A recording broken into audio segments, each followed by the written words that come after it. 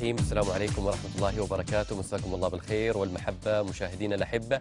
أهلا بكم إلى لقاء جديد وحلقة متجددة من برنامجكم من عمان مجموعة من الموضوعات والمحطات اللي حضرناها لكم في لقاء اليوم. وكل أمنياتنا مشاهدينا أنكم تقضوا برفقتنا مشوار طيب وجميل. مع هذا التنوع اللي دائما حريصين عليه في برنامجكم من عمان. فاصل قصير مشاهدينا وراجعين لكم مع أولى المحطات والمتابعات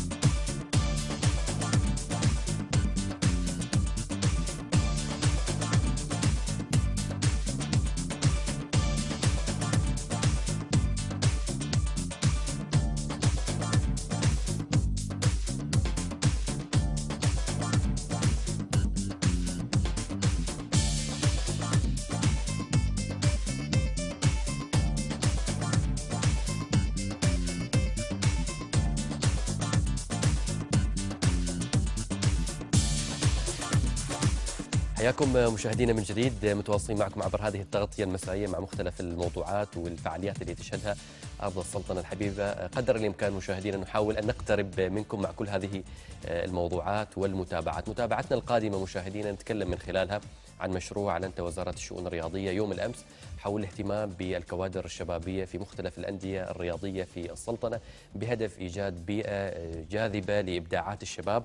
مشروع جديد مسابقة الأندية لإبداعات الشباب وبالتحديد حول عنوان إبداعات شبابية. تفاصيل هذه الإبداعات تفاصيل هذا البرنامج الشبابي والمسابقة اللي راح تكون على مستوى السلطنة في مجالات متعددة أنشطة شبابية متعددة. نتعرف على تفاصيلها إن شاء الله من خلال وجود مدير عام الأنشطة الرياضية بوزارة الشؤون الرياضية الأستاذ خليفة بن سيف العيسى مساك الله بالخير أستاذ خليفة مساك الله بالخير أخ راشد وإحنا أسعد وأشكركم فعلا على هذا النهج لإبراز أدوار الوزارة عامة وأنشطة الشباب بصفة الخصوص. بارك الله فيك يعني دائما مرتبطه أنشطة الشباب بشكل مباشر مع المجتمع يعني مجتمع فتي بالضبط. فأكيد نشاط يعني صحيح. مثل نشاط شبابي أو نشاط رياضي يحتل اهتمام كبير من الشباب. في البداية حابين نتعرف الآن أستاذ خليفة على الواقع، هل الانديه الرياضية في مختلف محافظات السلطنة. تتجاوز أدوارها بأكثر من مجرد إقامة مباراة إقامة دوري رياضي إلى الاهتمام بالمجتمع ثقافيا شبابيا وأنشطة الشباب الإبداعية المختلفة غير الجانب الرياضي. هي طبيعي. قبل ما أعرق على الأندية حبيت أوضح صورة. كلنا يدرك توجه الحكومة الرشيدة نحو الاهتمام بقضايا الشباب والبرامج والأنشطة التي تثري هذا الجانب. هذا التوجه ترجم من قبل معالي الشيخ سعد محمد السعدي وزير الشؤون الرياضيه الموقر توجيه مباشر لإقامة أنشطة وفعاليات تهتم بقطاع الشباب جميل. وبالتالي إحنا فعلا تلمسنا بالأندية فعلا خرجت من منظور إنها جانب رياضي بحت وإقامة مباراة أو فعالية رياضية لتنتقل فعلا على مدار العام استحداث أنشطة جديدة سواء علمية أو فنية أو أدبية ساهم هذا بلا شك انه في جذب للشباب وأصبحت الأندية تغيرت الصورة النمطية اللي كانت ما يطلق عليها أندية فعلا تهتم بالقطاع الرياضي إلى الاهتمام بمختلف القطاعات اللي هو القضايا اللي تهتم برامج الشباب. جميل، حتى من العنوان إبداعات شبابية تجاوزتوا المفهوم السائد إلى إلى حتى زرع هذه الثقة عند الشباب إبداعات شبابية. الآن أستاذ خليفة يعني الشباب تجاوزت إبداعاتهم أو أنشطتهم مجرد يعني قصة ولا بحث علمي إلى تكنولوجيا إلى آفاق أوسع، فكيف حرصتوا من خلال هذا البرنامج أنكم تدخلوا هذه الجوانب في في هذه الاهتمامات؟ فعلا هذه النقطة كانت محل دراسة وتقييم من قبل الوزارة. إن فعلا اهتمامات الشباب اختلفت الحين نوعا ما بين المناشط والانشطه التقليدية فبالتالي جاءت هذه مسابقه الانديه الابداع الشبابي متنوعة في عشر مجالات. منها ما هو تقليدي اللي كان ما زال هناك فئة من الشباب تتلمس هذا وتهتم بهذا النشاط إضافة إلى مجموعة من الأنشطة اللي هي مرتبطة يعني بأنشطة إلكترونية وأنشطة حديثة ومن ضمنها خلينا نقول يعني تصميم مواقع إلكترونية إنتاج فيديو عن طريق تصميم الجرافيك البحوث العلمية والأدبية. هذه من قد تكون من أبرز النواحي الحديثة. في حين بقية المجالات الشعر والقصة والمسرح والفنون بتقنيته الحديثة الشطرنج التصوير الفوتوغرافي بشقيه الرياضي والعام. والفنون التشكيلية هي فسعينا أن نكون هناك تنوع لهذه المجالات اللي مرتبطة بالمسابقة. طيب كيف راح تكون آلية تنفيذ هذا هذا المشروع ابداعات شبابية كيف راح تبدأوا في تنفيذه؟ كيف راح يعني يوصل أيضا إلى الشباب حتى يتمكنوا من المشاركة فيه؟ آه، بداية تنفيذ الانطلاقة من هناك توجيه مباشر من قبل آه، الوزارة لجميع أندية السلطنة لتشكيل لجنة شبابية في كل نادي في كل نادي يرأسها أحد أعضاء مجلس إدارة تتضمن بها من ذوي الخبرة والكفاءة بالإضافة لعنصر نسائي. عدد من الأندية فعلا تجاوبت مباشرة مع هذا التوجيه وبقية الأندية في طور لتكتمل منظومة ال 44 نادي بتشكيل لجان شبابية فيها. فالمرحلة الأولى من هذه المسابقة ستكون في النادي اعتبارا من أول من نوفمبر إلى منتصف آه، يناير 2014 ستكون عن طريق إشراف هذه اللجنة الشبابية في الأندية على جميع مراحل المسابقة خلينا نقول تصفيات أولية على مستوى النادي. طيب. ثم يخرج أوائل المجالات العشرة ليلتحقوا بالتصفية الثانية إلى نهاية شهر فبراير على مستوى محافظة السلطنة. ثم هناك أساسا في شهر مارس إن شاء الله على مستوى السلطنة وتكريم أوائل المسابقات في نهاية المسابقة. إضافة إلى كذا في مفاجأة جميلة أساسا لكافة المجيدين أوائل المجالات نعم. الوزارة إن شاء الله ساعية لتنظيم رحلة خارجية لهذا المجيدين للاطلاع على تجارب الدول الخارجية برامجها وانشطتها كتكريما لهذا الإبداعات وهذا النهج اللي انتهجته الوزارة فعلا في استقطاب الشباب والكفاءات. نعم. طيب يعني أستاذ خليفة برنامج بحجم هذا البرنامج وهذا الإعداد الجيد له كيف عملتوا على جانب التسويق حتى نضمن حضور ومشاركة أكبر قدر ممكن من المجتمع من فئة الشباب في هذه المسابقة وهذا البرنامج؟ البرنامج أساسا تبنته الوزارة مسؤولي الوزارة على رأسهم مثل ما وضحت معالي الشيخ نعم. وأصحاب السعادة. فعلا كان هناك دعم ورعاية مباشرة لتنفيذ هذا البرامج الجانب التسويقي إحنا سعيد من خلال فعلا هذه البرامج وهذه المجالات العشر في, في هذه المسابقة. أن التواصل وهناك فعلا في مبادرات كانت من قبل القطاع الخاص ومبادرات مشكورة أخذتها في برامج الوزارة بدءا من البرامج الصيفية هناك فعلا رعاية وتقدير لكافة مؤسسات القطاع الخاص اللي ساهمت في النهوض كشراكة مجتمعية مع الوزارة. نعم. هذا البرنامج إحنا ساعين أساسا إن شاء الله لجذب مجموعة من شركات مؤسسات الاختصاص لكي تتساهم وتساهم معنا في بناء هذا المشروع. لكن كمشروع عام متبنيتنا الوزارة آه وفي شراكة حقيقية وفي تجاوب ملموس من من قبل الأندية. نعم، طيب اليوم النادي يعني شعله من النشاط المجتمعي ما فقط يعني تنظيم فعالية ولا تنظيم برنامج، كيف راح تصلوا أيضا إلى المجتمع؟ كيف راح تضمنوا مشاركة وحضور أكبر قدر ممكن من الشباب من ذلك المجتمع في هذا البرنامج؟ إحنا أول خطوات التقينا بالأندية ولمسنا منهم كافة التجاوب. الخطوة الثانية إن شاء الله هناك ستكون لقاءات ورش عمل مع كافه اللجان الشبابيه في كافة محافظات السلطنه. اضافه ان هذا البرنامج راح يطرح إن شاء الله على موقع الوزارة وموقع الرياضة العمانية إضافة إلى مواقع التواصل الاجتماعي الفيسبوك والتويتر. وبالتالي نسعى إن إيصال فعلا لكافة شرائح المجتمع. هناك تواصل مع مؤسسات المجتمع المدني اللي نوجه له كل الشكر والتقدير اللي ساهمت في وضع الاشتراطات الفنية لهذه المجالات. وهناك طبعا مثل ما قال مسابقة الأندية لكن نعرف إن في بعض الولايات ما فيها أندية كيف ممكن يصلوا إلى هذه المسابقة وكيف ممكن المشاركه المجال مفتوح من خلال تعبئة الاستمارة وأقرب نادي إلى في أي ولاية بإمكان الشاب بإمكان طبعا البرنامج للذكور والإناث مثل ما وضحنا سابقا نعم. بإمكان أقرب نادي أنه يعبي الاستمارة والمجال مفتوح لكافة شباب عمان للمرحلة العمرية ل 30 سنة والشروط موضحة لكل مجال من هذه المجالات بالنسبة للموقع أيضا؟ فعلا إحنا عدينا دليل للمسابقة الدليل هذا شاركوا بجهد مشكور جمعيات المجتمع المدني وبعض المؤسسات الحكومية اللي صاغت لنا كلا في مجاله باشتراطات عامة وشروط فنية سعينا أنها الشروط تكون مرنة نوعا ما لنضمن مشاركة أكبر عدد من شباب المجتمع لجذب هؤلاء الشباب لربطهم بأنديتهم. فالشروط ميسرة وهناك مرونة كثيرة يعني إن إن شاء الله نضمن حضور ومشاركه أكبر عدد ممكن. طيب يعني إبداعات شبابيه والابداع يعني إن الواحد يأتي بشيء آه، يعني أو ينظر إلى المألوف بطريقة غير مألوفة. بالضبط. فكيف راح يعني تعملوا من خلال هذه المجالات الخاصة بالمسابقة أن تحقق من خلال مشاريع نتائج فعلية للمجتمع ما فقط يعني مشارك يشارك بقصة ولا ببحث إلى نتجاوز هذه المرحلة إلى تحقيق فائدة فعلية إلى المجتمع. هذه النقطة فعلا إحنا وضحناها في الشروط. م. يعني بعض الاشتراطات كتصميم مواقع أو إنتاج فيديو أو حتى البحوث ركزنا على بعض القضايا اللي فعلا تلامس المجتمع تلبي طموحات ورغباتهم تبدع مجالات معينة ستساهم بلا شك ستظهر على شكل بحث على شكل قصة على شكل موقع إلكتروني يعني كإبداع من خلال العمل اللي يقدم يقدم الشاب أو الفتاة في هذا المجال. فبالتالي راح يظهر فعلا هناك إبداع شبابي في نوعية العمل المقدم والاحترافية في كل في كافة المجالات يعني. جميل. أنت ذكرت أيضا هناك تصفيات على مستوى النادي. على مستوى المحافظة ثم على, على مستوى, مستوى السلطنة, السلطنة. هل لا علاقة أيضا بكأس جلاله السلطان للشباب؟ مثلا ارتباط بالمشاركين سيكون لهم أيضا نصيب بهذا الكأس إن شاء الله. فعلا المشاركين طبعا راح يمثلوا أنديتهم سواء على مستوى النادي ثم المحافظة ثم السلطنة. نعم. كافة النتائج والمشاركات الأندية هناك نقاط ستستثمر تسجل للنادي المشارك في مسابقة كأس صاحب جلاله الشباب. لنعيد الأساس للمسابقة ومثل ما كانت مطالباتنا يكون هناك توازن بين الجانب الرياضي والجانب الثقافي نعم.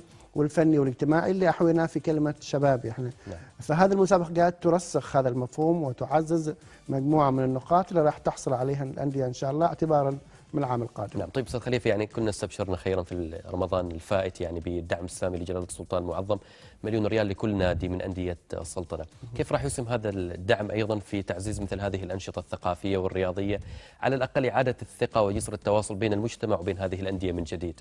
الإسهام هو ترجمة أساسا للتوجيهات السامية بتخصيص مليون لكل نادي وبدأت فعلا قد نكون 80% من الأندية نعم. تضع رؤيتها من خلال إيجاد مرافق ومنشآت تلبي تلبي لتنفيذ هذه الانشطه ليس بالضرورة طبعا الجانب الرياضي كلنا يعرف إن القطاع الرياضي أخذ حيز سواء من الملاعب والمرافق.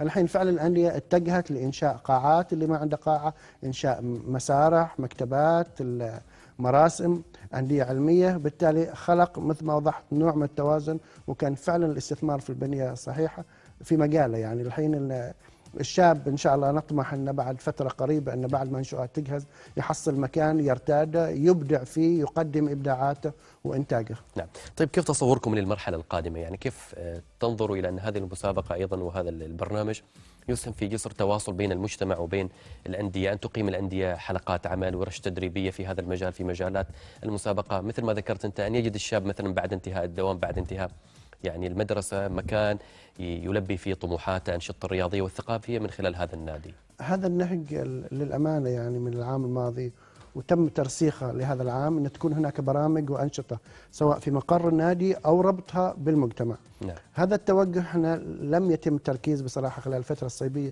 الصيفية.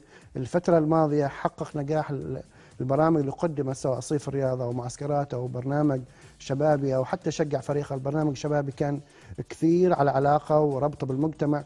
هذا النجاح اللي تحقق ساهم من الوزارة فعلا تخرج بالنهج وبهذا البرنامج الجديد المسابقة فنحس أنه على مدار العام هناك أنشطة وبرامج آه، مرتبطة كثير بالشباب مرتبطة بالمجتمع وتحقق تحقق الأهداف المرسومة إن نعم. علاقتهم بالمجتمع وطموحات ورغبات الشباب. نعم، اليوم أستاذ خليفة نجد في المجتمع كثير من الشباب يعني أصحاب أفكار طيبة، أصحاب توجهات جميلة لزرع مفاهيم المواطنة، مفاهيم التواصل مع المجتمع. كيف بإمكانهم أنهم يستثمروا هذه الأندية وهذه المنشآت في الأندية؟ في انهم يعني يتواصلوا مع المجتمع، يتواصلوا مع الشباب، توجيهاتكم أنتم أيضا لهؤلاء الشباب من هذه الأفكار أنهم يتواصلوا مع المجتمع من خلال منشآت النادي أيضا. آه، هناك توجيه مباشر فعلا سواء على مستوى مسؤولي الوزارة أو حتى رؤساء الأندية وأعضاء مجلس الاداره نعم. أبواب الأندية مفتوحة لكل شاب ولكل شابة. من لديه فكرة معينة من لديه آه، نشاط معين برنامج يهدف إلى إيصاله وربطه بالمجتمع. إضافة إلى أبواب الوزارة كلها مفتوحة لكافة الشباب من له أساسا فكرة أو إبداع. وإحنا فعلا بدينا لله الحمد. الفترة الأخيرة تلقي مجموعة من الشباب المبدعين أصحاب الأفكار أصحاب الاختراعات وهناك تبني فعلا من قبل الوزارة لمجموعة نعم. من هذا الشباب ونأمل إن شاء الله المستقبل القريب سيرى النور بعض البرامج من هؤلاء الشباب. إن شاء الله يعني كما يبدو يعني كما يلاحظ الواحد فعلا هناك نهضة رياضية طيبة في آه، السلطنة، هناك تجاوز لمفهوم النادي الرياضي إلى نادي رياضي ثقافي اجتماعي يتواصل مع المجتمع بشكل فعلي، اذا المسابقة راح إن شاء الله تفتح أبوابها في الأول من نوفمبر القادم نعم. والمجال مفتوح لكل من يريد المشاركة. مفتوح لكل للجنسين إلى 30 سنة وراح يلاقوا كل التجاوب وكل الترحيب نتمنى فعلا نعيد هالحراك في الأندية هالحراك بالشباب المجتمع ربطهم بالأندية ربطهم بكافة البرامج اللي تخرج بإبداعاتهم واستثمارها. نحن نتمنى لكم كل التوفيق إن شاء الله وأكيد راح نكون متابعين لكم ولهذه الأنشطة الرياضية الثقافية بوزارة الشؤون الرياضية. نشكرك على وجودك معنا مدير عام الأنشطة الرياضية بوزارة الشؤون الرياضية الأستاذ خليفة بن سيف العيساي شكرا جزيلا. عفوا. بارك الله فيك. إذا متواصلين معكم مشاهدينا وبقية التفاصيل والمحطات في برنامجكم من عمان ما زالت معنا مجموعة من المحطات الموضوعات والتقارير. بعد الفاصل مشاهدينا راح يكون لنا لقاء جديد مع موضوع جديد.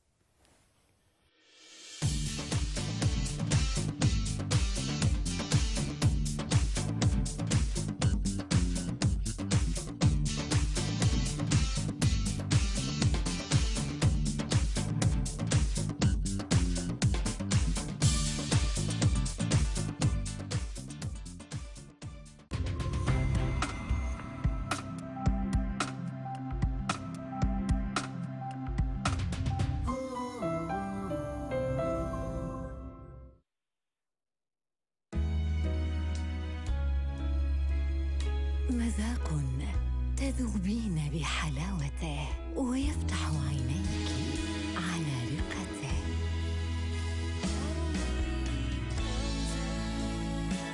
مع نعومة تلفك بالحرير وتبهرك كل مرة أكثر بكثير.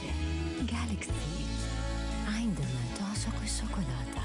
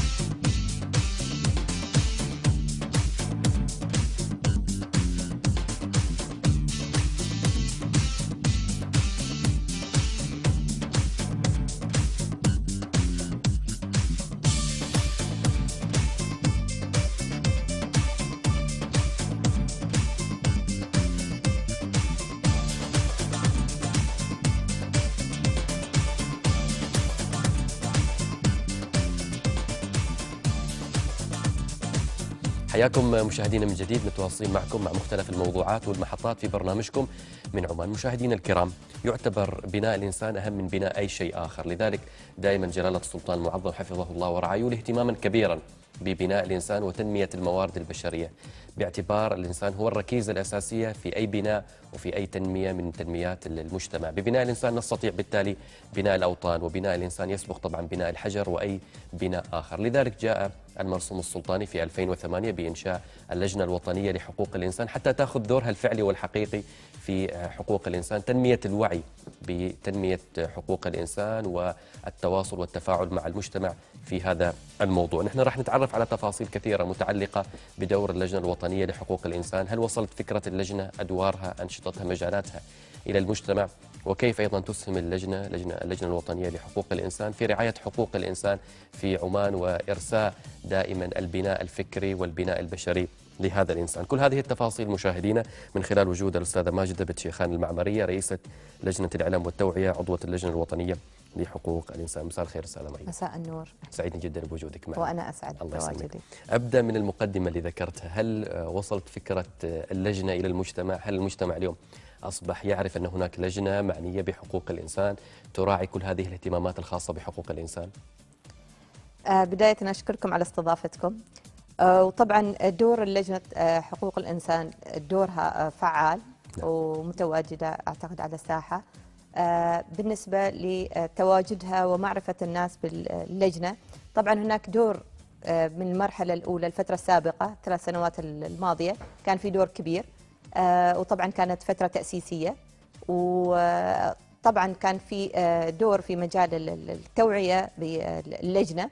ولكن الآن يمكن هذه المرحلة المرحلة الثانية هي التخصصية أكثر في نشر وتعزيز ثقافة حقوق الإنسان. نعم. بالنسبة للمجتمع آه، أعتقد نعم وصلت. ولكن نحتاج. نطالب نعم نحتاج ونطالب. وهناك مطالبات يمكن نجدها في التواصل الاجتماعي شبكات التواصل الاجتماعي بعض الأخوة أو المواطنين يطالبون بأن تكون هنالك يعني دور أكبر ونحن قائمون طبعا في هذا نعم. الجانب. طيب أستاذة مجده يعني عندما يذكر حقوق الإنسان نذكر الإنسان يعني ودائما جلاله السلطان يركز على بناء الإنسان لا يكاد يخلو خطاب أو لقاء لجلاله بالاهتمام بالإنسان العماني كيف نتجاوز مرحلة أن ينظر إلى اللجنة فقط في حدوث مثلا لا قدر الله مشكلة أو حدوث مثلا حاجة إلى هذه اللجنة إلى أن تكون اللجنة حاضرة في كل تصرفاتنا في كل أفعالنا أن تكون يعني موجودة في أدوارها وجودها الحقيقي والفعلي كوجود أي نادي كوجود أي مركز ثقافي مجتمعي في المجتمع.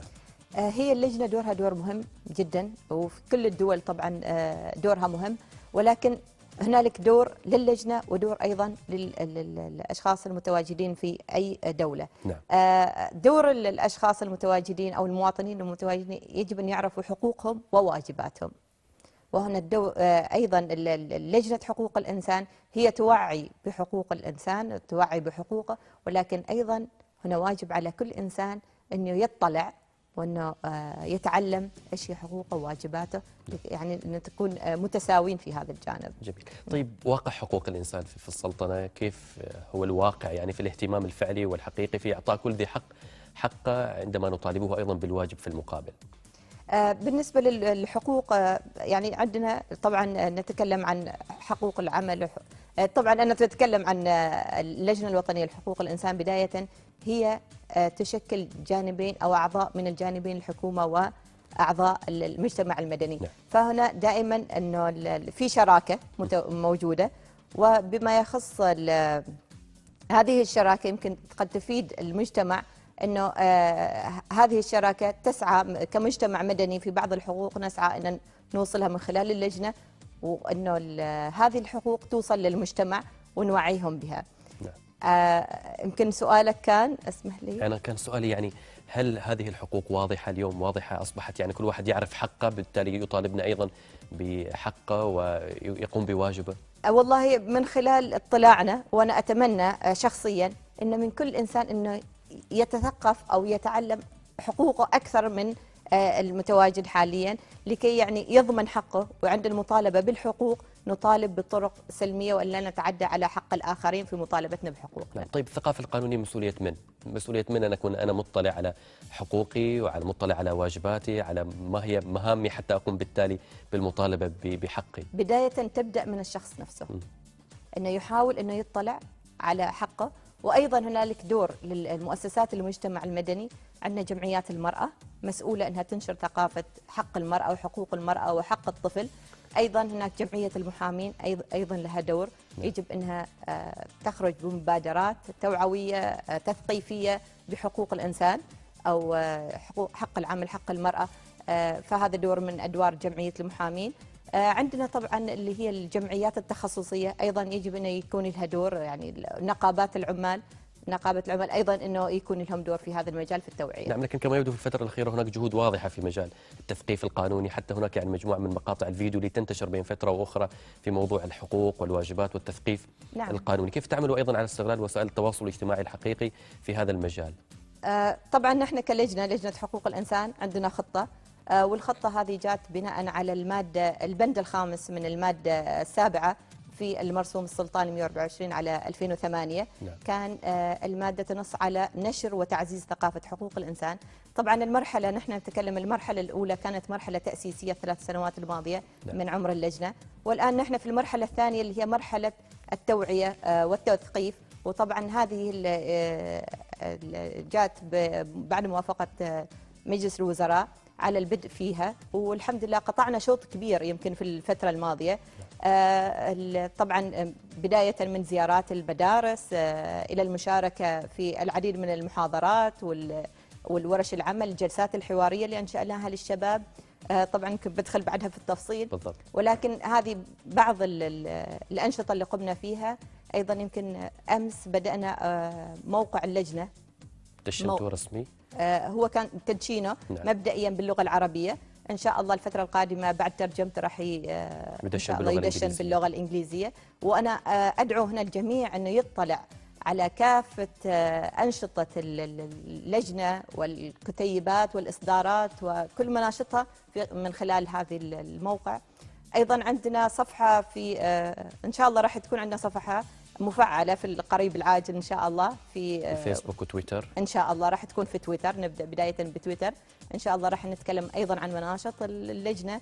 وعن خططها القادمة إن شاء الله. طيب أستاذ مجد المجتمع العماني مجتمع فتي دائما يعني فئة الشباب هي الفئة الأكبر من من مجمل الشعب العماني، كيف تعملوا على زرع هذه الثقافة ثقافة الحقوق، ثقافة الواجبات من خلال الشباب، استغلال الجامعات والمدارس أيضا والمؤسسات التعليمية لزرع هذه الثقافة؟ آه، طبعا نحن بدينا يعني الفترة الماضية كان عندنا كثير من المشاركات، م. يمكن بدأنا مع وزارة التربية والتعليم وكانت لنا مشاركة في هو صيفي عمل وريادة خلال فترة الصيف شاركنا في عدة مدارس في عدة ولايات في عدة مناطق نعم. آه، كموظفين من اللجنة كأعضاء أنهم آه، يعملوا محاضرات للطلبة وأيضا ورشة كانت في ورشة حقوق الطفل نعم. يعني هذه كانت بالتعاون مع عدة جهات وزارة التنمية وبعض الجهات اللي هي مسؤولة عن الطفل مجلس الدولة وجمعية رعاية الأطفال المعوقين هذه كانت في أيضا في عدة ولايات خصب صحار آه، والعديد من الولايات في جمعيات المرأة. كان تكلمنا عن آه، حقوق الطفل. أيضا آه، كان في مشاركة اللي هي معسكرات شباب الأندية. أيضا كانت لنا مشاركات ومهرجان صلالة كان عندنا ركن ووزعت الآلاف من المطبوعات والإصدارات اللي تخص اللجنة اللي هي يعني بكامل الاختصاصات اللجنة التوعية بحقوق الإنسان. فكان أيضا شاركنا في بمهرجان صلالة أمسية حقوقية. آه، تحدثنا فيها عن دور اللجنة عن خطتها القادمة. جميل. طيب أستاذة مجدة يعني الاهتمام بحقوق الإنسان مسألة عالمية اليوم أصبحت الجمعيات تتنافس فيما بينها لبيان للبيان للآخرين أن هناك اهتمام حقيقي وفعلي وواقعي بالنسبة لحقوق الإنسان. مرتبتنا بالنسبة للاهتمام بحقوق الإنسان على المستوى العالمي من خلال التقارير المعتمدة في مجال تنمية حقوق الإنسان هل نحتل مرتبة متقدمة في هذا المجال؟ آه إلى الآن آه نعم نحن يعني كحقوق ومقارنة بالدول الأخرى يمكن البعض آه يعني آه نصنف أنه الأفضل في بعض الدول والحمد لله أنه كسلطنة يمكن ما عندنا الانتهاكات أو البلاغات اللي هي آه على الاعتداء على الإنسان أو هذه الحمد لله نحن الأقل. لكن آه، نسعى أن تكون عندنا إن شاء الله اعترافات دولية وإن شاء الله في الفترة القادمة. جميل. هل ظواهر معينة اللجنة تسعى الآن في الفترة القادمة للتغلب عليها تؤكد اهتمام السلطنة بحقوق الإنسان؟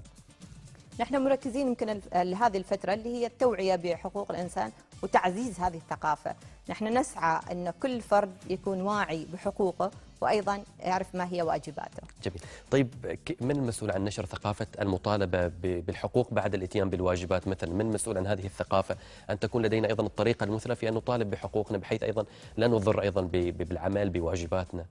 أكيد هو كل إنسان مطالب إنه آه، المطالبة بحقه بأن لا يتعدى على حق الآخرين. نعم.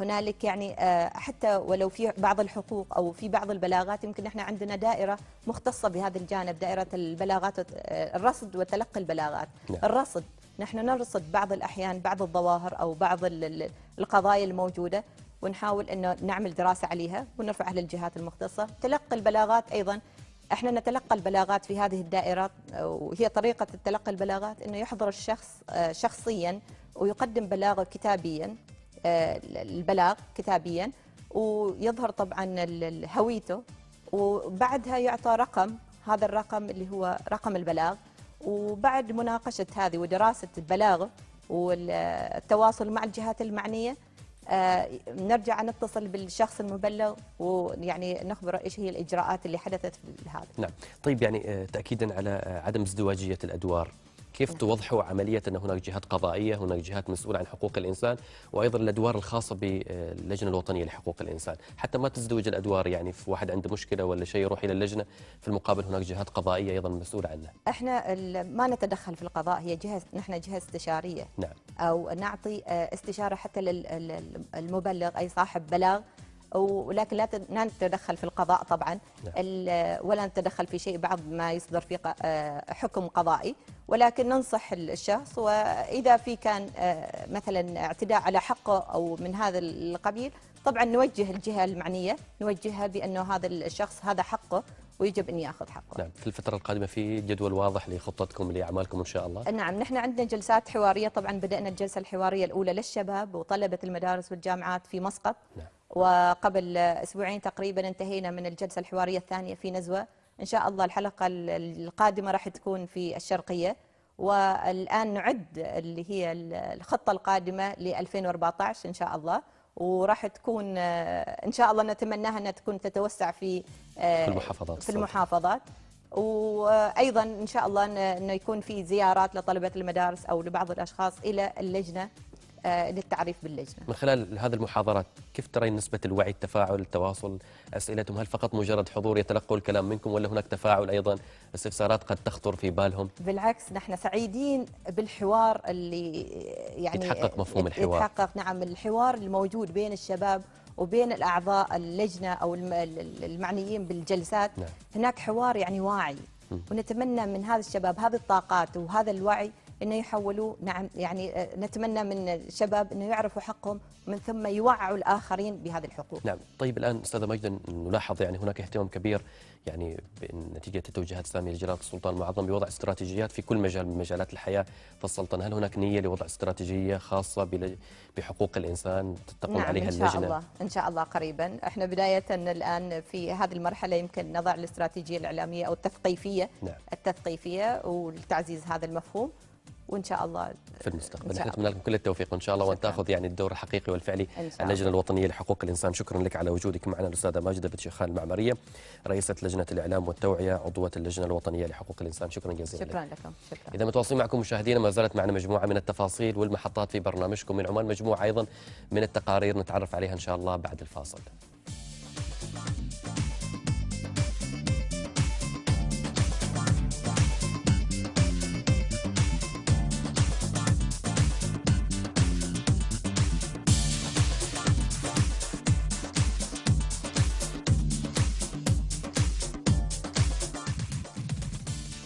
فاز فيلم الحياة البرية في عمان للمصور والمخرج حمد الوردي بجائزة أفضل تصوير في المهرجان الدولي الثالث للبيئة 2013 برومانيا. ومن خلال هذا الفيلم الذي هو من إنتاج تلفزيون سلطنة عمان ركزت عدسة المصور على جغرافية المكان واختلاف التضاريس الذي جعل من السلطنة بلدا غنيا بمناخها وجمالها الطبيعي وغنية أيضا بحياتها البرية التي ساعدت لتكون ملاذا للكثير من الكائنات الحية. وقد وفرت سلاسل الجبال والصحاري والسهول ملاذات آمنة للكثير من الحيوانات البرية التي تتخذ من هذه الأماكن ملاجئ تأوي إليها وقت شعورها بالخطر أو عند رغبتها في الحصول على الغذاء.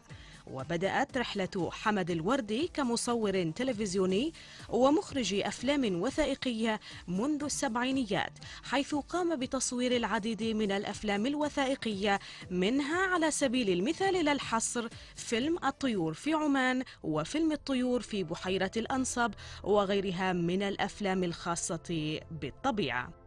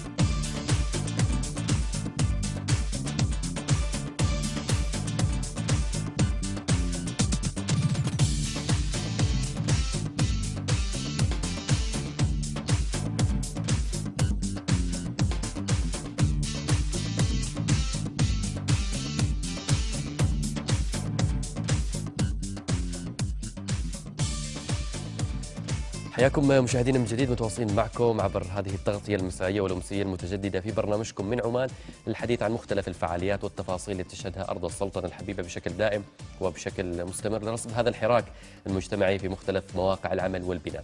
تابعنا كنا على مدى الشهور الماضية. مسابقة خاصة بمشاريع الشباب وشركاتهم في مؤسسات التعليم العالي بهدف إثراء ووجود ثقافة العمل المؤسسي كمؤسسات صغيرة يعني يديرها ويشرف عليها مجموعة من الطلاب في هذه الجامعات. والكليات. هذه المسابقة مسابقة شركتي تحت تأتي تحت مظلة آه، مؤسسة إنجاز عمان. الآن هناك مرحلة نهائية لهذه المسابقة حتى نعرف في النهاية الشركة الفائزة بالمركز الأول متقدم في هذه المجالات. أما تفاصيل المسابقة بشكل أكبر المرحلة الحالية للمسابقة من خلال وجود الشيخ شبيب بن محمد المعمري المدير التنفيذي لمؤسسة إنجاز عمان. مساك الله بالخير شيخ وسعيدين جدا بوجودك معنا. مساك الله بالخير شكرا الله يسلمك حابين في البداية نتعرف على المرحلة الحالية المسابقة وصلت إلى أين تابعنا يعني بشكل دائم نحن كنا نستضيف مجموعة من الشركات نعم. الطلابية نعم. أصحاب الأفكار الجميلة والطيبة لكن في البداية حابين نتعرف الآن على المرحلة الحالية للمسابقة إحنا دشنا النسخة الثانية من مسابقة شركة اللي هي واحد من البرامج اللي قدمها إنجاز عمان نعم. في مارس آه، من عام 2013 آه، بالشراكه مع شركة النفط العمانية وشركات آه، أخرى. نعم. بدينا في البرنامج توسعنا الحمد لله النسخة الأولى كانت في 2012 جامعة واحدة 80 طالب شركة واحدة 21 متطوع سبع شركات طلابية. هذا السنة الحمد لله ثلاث جامعات 300 طالب 50 متطوع ومعنا أربع شركات داعمة, داعمة والدعم يجي تمويل زائد متطوعين اللي هم المدربين اللي دربوا الشركات الطلابية. نعم. معنا هذا السنة 16 شركة تتنافس على لقب أفضل شركة طلابية تمثل السلطنة في النسخة الإقليمية من المسابقة. إحنا واصلين المرحله الأخيرة. آه، من المسابقة. هذا الأسبوع الأخير. يوم الأربعاء الساعة 5 العصر تسليم التقارير النهائية لكل الشركات الطلابية. ومن ثم تاريخ 22 وتاريخ 23 تقييم آه، الشركات الطلابية من قبل لجنة تحكيم من قبل القطاع الخاص. لجنة مستقلة محايدة. نعم. راح يتعامل هالطلاب كشركات حقيقية في معايير محددة من بداية المسابقة وموزعة على هذه الشركة الطلابية. هم عارفين بالضبط راح يتقيموا على إيش. هذه اللجنة دورها تختار من أفضل شركة. آه، أدت عملها خلال الست شهور الماضية. آه، من أفضل ممثل لنا آه، كسلطنة عمان في النسخة الإقليمية من المسابقة اللي راح تكون إن شاء الله في ديسمبر في دولة الكويت الشقيقة إن شاء الله. طيب كيف من خلال ملاحظتك ومتابعتك للشركات الطلابية 16 هل تجاوزوا مرحلة أنهم يتنافسوا على مسابقة شركة إلى وجود تفاعل تواصل مع المجتمع فعلي؟ أن الشركة يعني أنت ما خطر على بالك يوم من الأيام أنها تحقق مثلا وجود فعلي في المجتمع تتجاوز مرحلة مسابقة وتنافس على مسابقة ومركز؟ نعم. إحنا إذا تكلمنا عن رؤية آه، هذا البرنامج بالذات برنامج شركة وما هو البرنامج الوحيد اللي تقدمه مؤسسة إنجاز عمان. السنة الماضية كان أملنا أنه تنزرع الفكرة أنه شاب يبدأ مشروعه الخاص طيب. أو أنه يفكر في القطاع الخاص. تفاجئنا من السبع شركات طلابية اللي تنافست في آه، النسخة الأولى السنة الماضية 2012 من السبعة ثلاثة تسجلت في وزارة التجارة والصناعة رسميا قبل نهاية المسابقة. نعم. وكلمونا قالوا بغض النظر عن نتيجة المسابقة إحنا نتمنى نفوز لكن إحنا مكملين مع هذه الشركات. وهذا اللي خلانا نفكر بطريقة مختلفة هذا السنة أن الموضوع صار جدي بالنسبة للطلاب. آه، زائد آه، موضوع التركيز على المؤسسات الصغيرة والمتوسطة ندوة سياح الشامخات آه، هيئة تنمية المؤسسات الصغيرة والمتوسطة كل فرصها جاية معنا. صندوق الرفد شركات جديدة مراكز جديدة جاية تدعم هذه المؤسسات الصغيرة والمتوسطة ومع التركيز على الشركات الناشئة. نعم. هذا للطلاب صاروا يفكروا بشكل جدي إنه والله أنا أجرب ست شهور ما خسران شيء أدخل في هذا البرنامج. أتلقى تدريب آه، احترافي من قبل شركات كبيرة من السلطنة متطوعين عمانيين يعلموني اساسيات تأسيس شركة. أدير هذه الشركة بنفسي براس مال حقيقي بمنتج حقيقي الطالب بنفسه يبتكره. آه، وينزل للسوق ويشتري ويبيع ويسوي دراسة سوق ويسوي دراسة جدوى آه، ويشوف حظه مع ريادة الأعمال نعم. ويكتشف بنفسه هل هو فعلا ميال إنه يأسس شركة حقيقية؟ هل هو فعلا قادر إنه يدير مؤسسة حقيقية؟ أنت عارف آه، مسألة إنك تدرس الموضوع غير إنك لما تطبق تطبيق على الواقع آه، عملي فالقناعة تيجي شخصية من هذيل الطلاب أنه هل فعلا أنا آه، أكمل في الطريق ولا لا؟ وهذا اللي خلانا أن ندشن برنامج جديد مع مركز زبير للمؤسسات الصغيرة. برنامج تأسيس راح يكمل مع الشركات الراغبة في إنها تسجل شركاتها. تدريبي؟ بر... لا هذا هذا مختلف تماما عن جميع البرامج اللي تقدمها المؤسسة، برنامج دولي آه، تم تشيينه قبل تقريبا ثلاث سنوات، إحنا جبنا عملنا هذه النسخة وسميناها تأسيس، تأسيس راح يتبنى آه، أكثر من فريق آه، وراح يشتغل معهم في تسجيلها كمؤسسة حقيقية مع تمويل مع استشارات مع تدريب مع توفير مساحة مكتبية. وهذه ما بتكون بتكون فقط معروضة للشركة اللي راح تفوز. نعم. هذه بتكون معروضة لأي شركة طلابية حابة إنها تكمل بشكل جدي. لكن في عملية تقييم. غير غير المسابقة. يعني بعد ما تنتهي المسابقة راح نجلس مع 16 شركة. في طبعا جوائز راح نتكلم عنها بعد شوي. لكن راح نجلس مع 16 شركه وبنعرض عليهم. من حاب منكم إنه يكمل. آه إذا أنتم جادين آه تعالوا في لجنة راح تقيمكم. هذه هذه المبادرة من هذه الشركة. جاءت يعني رغبة منها ولا تواصل منكم أنتم هل هل عندنا هذه الثقافة من مؤسسات القطاع الخاص الكبرى ثقافة المسؤولية الاجتماعية الواقعية؟ آه هذا الموضوع صارنا نشتغل عليه من آه سبتمبر الماضي بعد ما شفنا نتيجة آه, المسابقة من النسخة الأولى. آه مثل ما تعرف أنا جزء من منظمة دولية Junior Achievement Worldwide انجازات الشباب أكثر من 90 سنة صار لها نعم. شغلها الشاغل ريادة الأعمال وزرع ثقافة العمل الحر وتشتغل من خمس سنوات إلى غاية 25 سنة. شفنا نسخة آه، بريطانية ونسخة آه، من عند إنجاز مصر آه، برنامج اسمه Start Up هذا البرنامج لاقى نجاح كبير في الدول اللي جربته وهو تكملة لمسابقة شركة اللي هي أصلا موجودة في أكثر من 50 دولة من الدول الأعضاء في المنظمة الدولية. فهذه الشركات آه، أو هذه الدول جربوا البرنامج فإحنا آه، من منطلق إنه أفضل الممارسات التجارية اللي موجودة معنا في المنظمة، إيش البرامج اللي نجحت، إيش البرامج اللي ليها آه، إقبال كبير، ارتئينا بعد مسابقة 2012 إنه إحنا نحتاج هالبرنامج. بدينا نبحث وحصلنا تقبل كثير من القطاع الخاص للفكرة، تبقى العملية فقط إنه لازم ندرس الموضوع بشكل جدي جدا، يعني هل فعلا الطالب جايب حماس المسابقة وحاب إنه يسجل الشركة فقط لأنه متحمس. تعرف فاز وجو جدا مشوار. مختلف ويريد يكمل مشوار. لكن بعد ما تنتهي المسابقة احتمال الوضع يتغير آه، آه، معاه. تنعرض عليه وظيفة ما نقدر نمنع إحنا الطالب إحنا ما ندفع الطلاب ونقول لهم لازم تكونوا رواد اعمال لازم تأسسوا شركات. ما هو هدف هدف المسابقة. الهدف المسابقة إنه يعيش الطالب جو حقيقي. نعم. كيف عملية تجارية تتم. طيب من, من خلال أجواء المسابقة الماضية يعني كما نلاحظ أن هناك التنافس الكبير بين الشركات ذاتها يعني. نعم. لكن هل وصلت إلى المجتمع؟ هل وصل تنافس حقيقي إلى المجتمع؟ يعني وصل على حد سمعك مثلا شركات حققت مثلا أرباح كبيرة أصبحت معروفة كماركة مثلا في المجتمع؟ إحنا بعدنا ما نقدر نقيم 16 شركة بس أعطيك تجربة السنة الماضية. سبع شركات مجموع مبيعاتها أكثر من 20 ألف. ريال. وإحنا نتكلم عن طلاب على مقاعد آه، آه، الدراسة. واحدة من الشركات فقط كان آه، صافي ربحها 11000 الموضوع صار جدي بالنسبة لهذا الطلاب. في دخل حقيقي جاي لكن إحنا ما نريد بعد نرغب إنه ندفع بالطلاب إنه لا والله اترك مقاعد الدراسه خلي عنك وروح وتوكل واشتغل وأسس شركة. لا هذا ما هو موضوعنا اطلاقا. إحنا ندفعهم إنه يكملوا تعليمهم لأن نربط البرنامج مالنا إنه الاستثمار في التعليم راح يخليك ناجح أكثر. واحدة من الأشياء اللي فرحتنا كثير من سبع شركات طلابية. أربعة سجلوا ملكية فكرية لمنتجاتهم ابتكارات جديدة موجودة في السوق. هم يملكوا حقوق. الملكية الفكرية لمنتجاتهم ممكن يبيعوا هذه الأفكار آه، لاحقا أو أنه يدخلوا في شراكة مع مستثمر. وهذا اللي حصل معنا السنة الماضية للشركة اللي فازت أخذناهم على الدوحة في النسخة الإقليمية وفازوا الحمد لله في المسابقة الإقليمية. في الدوحة على 14 دولة عربية بجائزة أفضل ابتكار في الوطن العربي. جاهم رجل أعمال قطري وقال لهم اذا أنتم جادين آه، اشتري هذه الشركة أنتم تملكوا 50% أنا برأس المال أملك 50% الشرط الوحيد تفتحوا فرعين فرع في السلطنة وفرع في, في الدوحة. في الدوحة. ممتاز. وهل بدأوا فعلا في المشروع؟ هذا اللي جالسين نشتغل عليه الحين. الحمد لله آه، آه، التقى بهم واحد من المسؤولين. آه، معنا في السلطنة بعد ما رجعوا وسجلوا الشركة رسميا. حاليا في طور إنها يتم تبنيها من قبل إحدى المؤسسات المحلية. راح يساعدوهم. واحدة من التحديات اللي واجهوها إنهم ما تخرجوا بعدهم.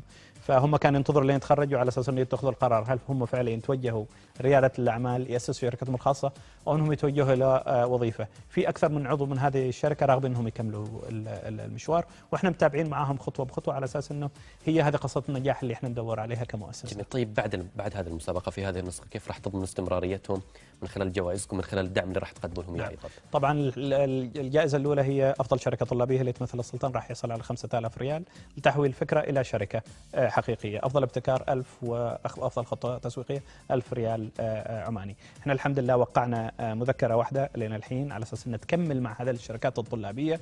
راح نوقع مذكرتين مختلفات مع مؤسستين مختلفات على أساس إنه يتبنوا مجموعة أكبر من المؤسسات. بس ما أقدر أعلن عن الاسم غير لما يتم التوقيع الرسمي لهذا المؤسسة.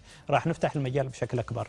السنة القادمة إحنا نحاول نضاعف العدد من 16 شركة حابين نوصل إلى 30 شركة طلابية. ولاول مرة الحمد لله عن طريق إحدى المؤسسات المحلية راح ننفذ البرنامج خارج مسقط أول مرة. راح يكون. في الجامعات والكليات؟ في الجامعات والكليات. طبعا عن طريق إحدى الشركات اللي دخلت معنا حديثا. راح نطبق البرنامج في الباطنة وراح نطبق البرنامج في ظفار. وفي الحين محادثات مع شركتين مختلفات على أساس إنه تكون في الداخلية ونسخه نسخة تكون في الشرقيتين وفيه جالسين نبحث عن شريك على أساس إنه في الظاهرة وفي البريم إن شاء الله. طيب هذه الأفكار اللي ذكرتها أنت هناك يعني مجموعة من الأفكار تسجل كبراءات اختراع نعم. لملكيات فكرية. نعم. كيف تعملوا على استمراريتها؟ كيف تعملوا أن تكون هناك يعني بيئة مستمرة للابتكارات وللإبداعات أن تكون نسخ غير متكررة يعني قد يتساءل الواحد طيب إنجاز وش راح تجيب السنة القادمة إن شاء الله طالما أن هذه الأفكار كلها موجودة هذا العام. بالضبط.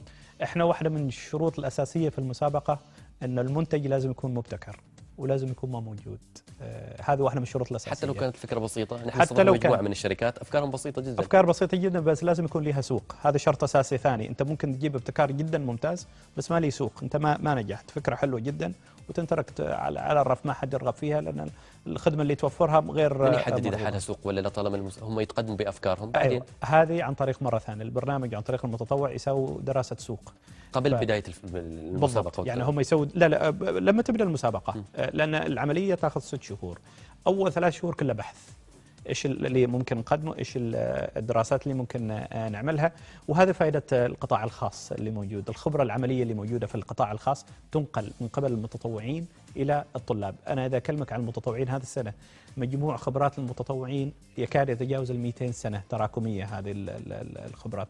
فأنت تخيل معي يا أخ راشد 200 سنة من الخبرات راح تنقل للطلاب في جو دراسة. ما في نجاح ورسوب. الجو مرح. البرنامج مفتوح لأي حد من 18 إلى 24 سنة. اذا لك رغبه تيجي وتسجل. إذا كان البرنامج موجود في الكلية أو في الجامعة وتكون جزء من المجموعة. تعرف هذا الأريحية؟ عملية المسابقة عملية الجائزة عملية تمثيل السلطنة خارج البلد هي الدافع الأساسي. لكن لما الطالب يبدأ يجرب والشركة تتحول شركته هو الملكية تتحول ملكية شخصية. الموضوع يصير جدي أكثر بالنسبة له. ونركز على عنصر الابتكار كثير لأن إحنا حابين ما فقط نشارك في المسابقة الإقليمية حابين إنه ننافس. والحمد لله إحنا خلال ست سنوات اللي شاركنا فيها حققنا أربع مراكز مختلفة. نعم. طيب أنا أريدك تعلق على موضوع. أنا أذكر قبل فترة واحد كان يقول لي طيب إنجاز عمان مسابقتهم طيبة مشروعهم طيب وجميل. ليش ركزوا واجد على الابتكار طالما السوق المحلي أصلا يحتاج إلى أفكار تقليدية. السوق المحلي ما زال محتاج بشكل كبير لأفكار تقليدية. هم يروحون إلى أفكار مبتكرة يمكن تتسوق يمكن لا. في المقابل نحن نحتاج أصلا إلى أفكار تقليدية. بالضبط. إحنا واحدة من الأشياء الأساسية في المنظمة العالمية ان تجهيز الشاب لاقتصاد عالمي وليس لاقتصاد محلي. محلي فقط. إذا بتنجح عالميا أنت ما تحتاج إنك فقط تبقى في سلطنة عمان. وهذا اللي إحنا نركز عليه في برنامجنا من خلال المتطوعين من خلال الطلاب. إنه أنت ليش تحكر نفسك على سوق محلي فقط؟ إذا المنتج مالك ممتاز ممكن ينجح في عمان ممكن ينجح خارج عمان ليش تنتظر؟ ما, ما في شيء يعني الحين لكن اول اني انمي بلدي في المقام الأول. بالضبط. لكن اقتصادياً. انت اقتصاديا أنت إذا نجحت برا بتنجح داخل. على سبيل المثال أعطيك مثال. عندنا شركة طلابية اليوم وصلت ماليزيا. من المتنافسين معنا هذه السنة. منتجها وصل ماليزيا. ولاقى رواج هناك. ما أعرف كيف وصلوا للأمانة ما بخفيك وباعوا يعني, يعني كميات؟ باعوا كميات في ماليزيا باعوا في الإمارات باعوا في السعودية. طبعا إحنا لازم نشوف التقرير النهائي اللي بيوصلنا يوم الأربعاء. كم يعني حجم هذا المبيعات. فالفكرة هنا انه لا تحكر نفسك على سوق محلي إذا أنت قادر توصل للعالميه وإحنا نشوف كل المنتجات اللي تتصدر لينا. ترى هي بدأت بفكرة بسيطة من شخص جالس حاول إنه يبتكر حاول إنه يقدم شيء للسوق المحلي نجح ونقلها للسوق العالمي على طول. إحنا حابين ندخل هذا المفهوم إنه لا تحكر نفسك فقط على السوق المحلي. أنت إذا نجحت هنا ممكن تنجح برا. والأفكار بادية اللي تيجي الحمد لله فيها القابلية إنها تتحول إلى منتجات دولية أو إنها تلاقي رواج في دول ثانية سواء كانت في المنطقة معنا في الإقليم أو على المستوى العالمي. أعطيك مثال ثاني سريع. إن أكثر من شركة إنتاجها في الصين. إحنا ما خبرناهم ولا قلنا لهم إن هذا يعني مسموح صنعوه في. الصين ولا وصلوا إلى الصين؟ وصلوا إلى الصين تصنيع. أها. ففي اتفاقيات. الشركات الصينية هي ما مدركة أنها جالسة تتعامل مع طلاب. من كثر ما هم يتعاملوا باحترافية مع هذه ال- ال- المصانع. وأنت تعرف أنت واحد طالب بعد ما تخرج يكلم مصنع في الصين على أساس يصنع منتجات يصدرها آه، في السلطنة ويصدرها خارج السلطنة. كمنتج جديد. كمنتج جديد كمنتج مبتكر. المدارك معاه تتوسع ويبدأ يفكر بشكل جدي فعلا.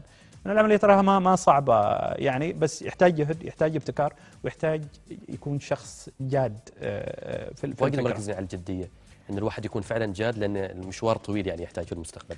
طيب عندكم توجه إنكم تلحقوهم ب آه، يعني يحتكوا برؤساء تنفيذيين من خارج السلطنة طالما هناك يعني أفكار كما تذكر انت لاول مرة يمكن ما موجودة في السلطنة فربما الرؤساء التنفيذيين أو المتطوعين من القطاع الخاص ما عندهم ذلك الإدراك والوعي إحنا الكبير. في آه، آه، مكتبنا الإقليمي لإنجاز العرب آه، السنة الماضية كان في اجتماع كبير آه، بعد المسابقة ال- ال- الإقليمية. وتم تدشين مبادرة آه، راح نعلن عنها إن شاء الله في القريب العاجل. مبادرة إقليمية الأولى من نوعها في آه، الشرق الأوسط. رؤساء تنفيذيين مثل ما تفضلت داعمين للمؤسسة على المستوى الإقليمي. راح يبدوا يتبنوا الشركات اللي تفوز والشركات اللي حابة آه، تكمل. بيكون في طريقة ربط إلكتروني آه، مميزة جدا بعدنا ما دشناها. جالسين يبنوها الأخوان في المكتب الإقليمي. راح تربط الشاب من سلطنة عمان اللي راح يكمل معنا المشوار مع رؤساء تنفيذيين في ال- المنطقة. أعطيك رئيس تنفيذي اللي أخذ المبادرة آه، آه، الرئيس التنفيذي المؤسس لشركة أرامكس. أكبر شركة عربية للشحن ومن أكبر الشركات للشحن في ال- المنطقة معنا. فادي غندور راح يكون بنفسه.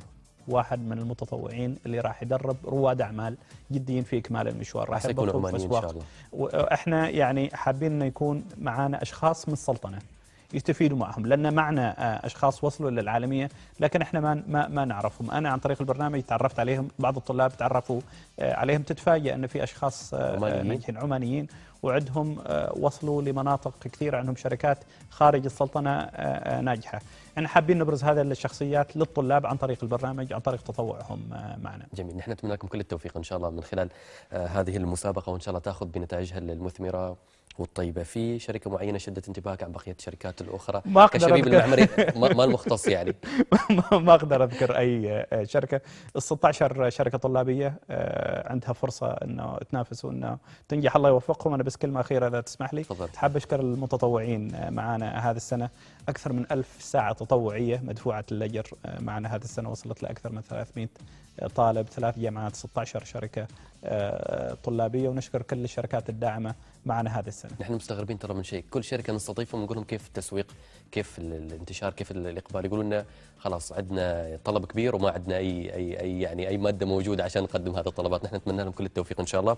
وأيضا نتمنى لكم كل التوفيق. المدير التنفيذي لمؤسسة إنجاز عمان الشيخ شبيب بن محمد المعمري. شكرا جزيلا لك. بارك الله فيك. بارك الله فيك. اذا متواصلين معكم مشاهدينا. بعد الفاصل نرجع لكم من جديد في برنامجكم من عمان.